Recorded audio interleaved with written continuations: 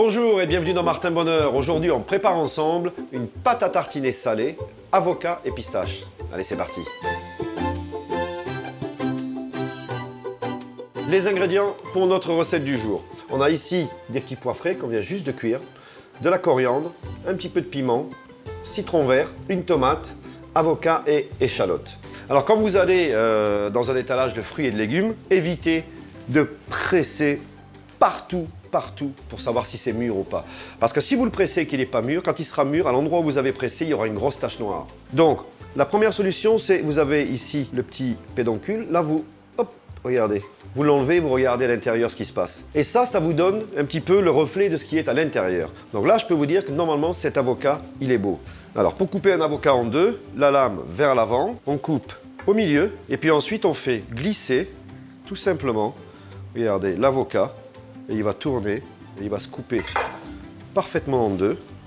On pivote ensuite, regardez, et on a l'avocat qui est ouvert. Voilà, et nous ce qu'on va faire, c'est qu'on va mettre ici à l'intérieur déjà de notre petit robot les petits pois. Et on va mettre à l'aide d'une petite cuillère à café la chair de notre avocat dans le mixeur aussi. On va rajouter maintenant la coriandre. Alors la, coriandre, c'est suivant les goûts. Vous aimez, vous en mettez beaucoup. Vous n'aimez pas, vous mettez du cerfeuil. Alors moi, j'aime bien, donc j'en mets quand même pas mal. L'échalote, alors là, on la coupe grossièrement. Voilà. Hop, mon échalote. Le jus du citron vert. Et un petit peu de piment. Alors ça, c'est un piment doux, bien sûr. Hein. Et juste avant de mixer, on rajoute encore un petit peu l'équivalent hein, d'une cuillère à soupe d'huile d'olive vierge. Et on mixe, tout simplement. Une belle tranche de pain de campagne toasté pour le dressage. Et regardez, vous venez mettre ça comme ça avec une spatule, hein, et puis vous faites quelque chose de... Hein, c'est toujours sympa de donner un petit peu de volume sur... Voilà, et quand vous avez fait votre tartine, vous avez encore les petits pois qui vous restent. Alors ici, quelques belles petites rondelles de piment.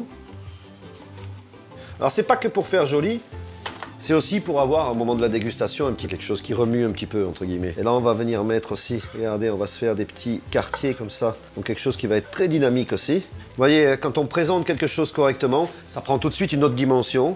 Ça coûte pas beaucoup plus cher, mais ça fait quand même la différence. Voilà, et on va pouvoir dresser notre petite tartine. Regardez, ça peut être amusant ça.